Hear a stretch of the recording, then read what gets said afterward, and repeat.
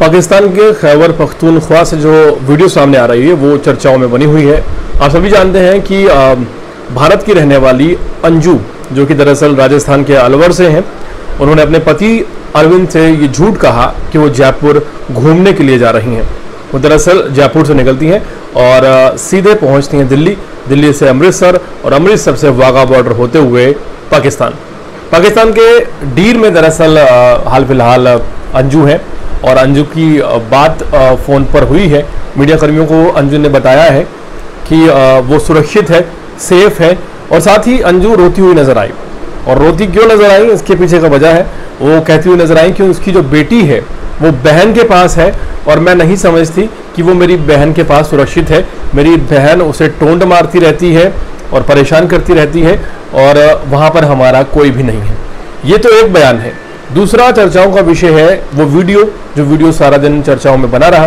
Video में नज़र आ रहा है कि पाकिस्तान के डीर में दरअसल नज़र आ रही हैं अंजू और नसरुल्ला नज़र आ रहे हैं।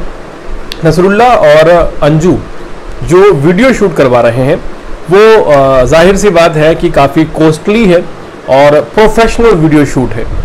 एकदम ड्रोन से खींचा गया वीडियो शूट, जो कि फ़िल्म की शूटिंग के दौरान इस्तेमाल किए जाते हैं। और उसके लिए इजाज़त भी बाकायदा ली जाती है। कहा जा रहा है कि जो वीडियो है, वो नॉर्मल एक मेल मिलाप का वीडियो नहीं है। ये प्री वेडिंग शूट का वीडियो है। तमाम सबूत मौजूद हैं, लेकिन तमाम सबूतों के बावजूद नसरुल्ला मीडिया कर्मियों से ये कह रहे हैं कि नहीं, ऐसा कुछ नहीं है, अभी शादी नहीं हुई है और अंजू भी इस बात को नाकारती हुई नज़र आ रही हैं। अंजू के नकारने का पीछे का रीज़न समझ में आता है। अंजू का अपने पति से तलाक पर प्रोसीडिंग चल रही है। तलाक अभी हुआ नहीं है। तो जब तक तलाक हो नहीं जाता वो शादी करना शायद मुनासिब नहीं समझती हैं। कुछ सवाल आज मीडिया कर्मियों ने पूछे हैं जो कि डायरेक्टली पूछे गए हैं नसरुल्ला से कि अगर अंजू को तलाक मिल जाता है तो क्या आप अंजू से शादी कर लेंगे? तो पर वो कहते हैं कि जो मर्ज़ी अंजू की होगी, वही मर्ज़ी मेरी होगी। और उन्होंने ये भी कहा है कि काफ़ी ज़्यादा खुश हैं अंजू यहाँ पर।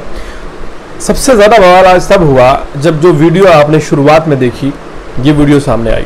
वीडियो बहुत छोटी सी है और वीडियो कोर्ट की है। पाकिस्तानी मीडिया ने इस वीडियो को बनाया है। और जिस वक्त ये लोग कोर्ट से बाहर आ रहे थे, उस वक्त ये वीडियो बनाया गया है। और कोर्ट से बाहर आने के बाद दो चीज़ें नोटिस करने वाली थी। एक चीज़ ये कि ये लोग बहुत जल्दी में थे।